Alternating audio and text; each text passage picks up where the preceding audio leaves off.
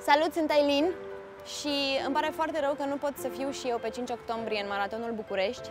Este un gest de mare generozitate din partea celor care merg um, și să știți că alergați nu numai pentru sănătatea voastră, cât și pentru copiii care trăiesc în orfelinate. Înscrie-te în echipa Team Hope și fie eroul copiilor fără copilărie.